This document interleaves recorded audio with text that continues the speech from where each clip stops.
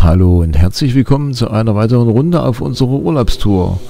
Heute nehme ich euch mit in das Heinrich-Harrer-Museum in Hüttenberg. Das war ja eines unserer großen Ziele auf der Tour und ihr habt es gerade gesehen im Bild. Ja, das Heinrich-Harrer-Museum in Hüttenberg beschäftigt sich natürlich mit dem Leben von Heinrich Harrer. Wer das ist, das bedarf, glaube ich, keiner Erklärung mehr. Spätestens seit dem Film Sieben Jahre in Tibet, basierend auf dem Buch Sieben Jahre in Tibet, ist ja der Name doch ähm, sehr bekannt. Ähm, der große Tibet-Reisende, einer der ersten Europäer zusammen mit seinem Kumpel, die Tibet überhaupt besuchen durften und es geschafft haben, bis nach Lhasa durchzudringen ähm, und dort den Dalai Lama in seiner Jugend kennenzulernen. Er war ja dann zeitlebens ähm, Freund vom Dalai Lama. Ähm, der Heinrich Harrer ist dann, glaube ich, 2006 verstorben, sowas in der Richtung. Ähm, und dieses Museum beschäftigt sich mit seinem Leben. Großteil davon nimmt natürlich der Part in Tibet ein, aber Heinrich Harrer hat natürlich auch vorher und nachher sehr viele Exkursionen in die ganze Welt gemacht. Afrika war dabei, sieht man später auch noch.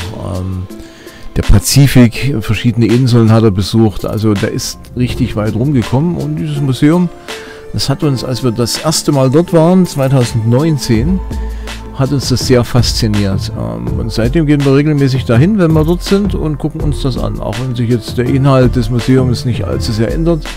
Aber man kann dort wie nirgends anders in, in die Stimmung eintauchen, ähm, was halt Tibet und das Ganze drumherum ausmacht. Ähm, in Hüttenberg gibt es auch ein Tibet-Zentrum. Das ist dann ähm, oben auf dem Berg, auf dem Knappenberg. Ne? Hüttenberg war ja äh, sehr bekannt für seinen früheren Erzabbau und ähm, Bergwerke und dafür braucht man Knappen und die haben auf dem Knappenberg gewohnt. Und da oben ist ein Tibet-Zentrum. Gegenüber des Museums gibt es so, so eine Art Tibet-Pfad. Das, das, zieht sich so ein bisschen in den Berg hoch, da mit so Leitern. Und für gegen 2 Euro Eintritt kann man dort also reingehen, gibt ein kleines Drehkreuz, wirft mal Geld ein, dann sucht man sich aus dem Schrank noch so einen kleinen Helm aus. Und dann kann man dort die Treppen hochgehen. Und das geht richtig weit hoch, es könnten so 50 Meter sein. Und das Ganze ist natürlich ähm, beeindruckend, nicht nur wegen der Sicht, die man von dort oben hat, sondern auch, weil man einfach ähm, Haufen Sachen auch sieht. Die haben dort Bilder an, angebracht, ähm, mit tibetischem Inhalt, überall die Gebetsfahnen und überhaupt erstmal so dicht an der Wand und so steil dort hochzulaufen, ist teilweise auch nicht ganz ohne. Ähm, Habe ich mal wieder gemerkt, dass ich nicht sonderlich höhenfest bin, ähm, obwohl es dort wirklich ähm, gesichert ist und relativ breite Treppen mit Geländer, aber wenn man so durch das Lochblech nach unten guckt, ähm, ist, schon, ist schon interessant, ja muss man auf jeden Fall machen. Wenn man einmal im Museum war, dann sollte man sich die halbe Stunde auch noch gönnen und dann einmal oben hoch zu laufen und sich das anzuschauen. Die Bilder hier, die wir gerade sehen, waren übrigens neu. Die haben wir das letzte Mal noch nicht gesehen. So ganz nebenbei finde ich, ist das auch eine, eine ingenieurtechnische Meisterleistung, dort diese ganzen Treppen in den Fels zu verankern, die ganzen Sachen aufzustellen. Kommt vielleicht jetzt von den Bildern her gar nicht so richtig rüber. Aber wenn man einmal dort ist, dann sieht man, dass das nicht so einfach ist. Hier auf dem Bild kann man es vielleicht erkennen, dass das gar nicht so ohne ist. Dort solche Konstruktionen in den Fels zu hämmern. Ja, das ist unser Besuch in Hüttenberg gewesen. Und das ist jedes Jahr ein besonderes Highlight.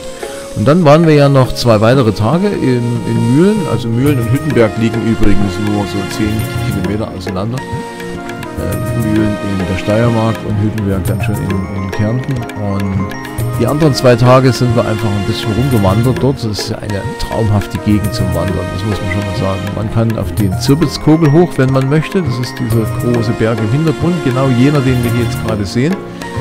Den kann man in zwei Etappen erreichen. Eine Etappe über die Tonner Hütte und dort übernachten und dann nochmal hoch und wieder zurück. Oder man macht es wie wir und bleibt unten und, und streift ein wenig in der Gegend umher. Gerade so jetzt in der, das war ja Frohen Leichnam, das Frohen Leichnamswochenende haben wir ja hier noch im Blick. Da war noch alles relativ leer. Am Anfang war es auch noch vergleichsweise kühl, also überhaupt kein Vergleich mit den 30, 35 Grad, die wir jetzt draußen haben, sondern hier hat man tatsächlich früh sich noch ein Pullover angezogen vorm Losgehen und man sieht es auch an den Wolken, es war nicht die durchgängige Hitze, was zum Wandern natürlich perfekt ist.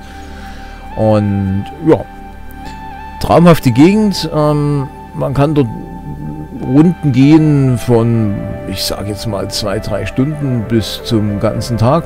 Kann man die ausdehnen, man kann noch viel länger dort bleiben, ähm, man kann Ausflüge in verschiedene Richtungen machen.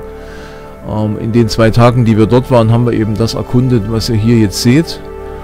Ja, und das hat uns richtig sehr gut gefallen. So, nun habe ich genug geredet. Ich lasse euch mit den Bildern allein. Ähm, das Video geht noch so 5-6 Minuten. Schaut es euch an und sagt mir, ob es euch gefallen hat oder nicht. Ne? Bis dann. Tschüss.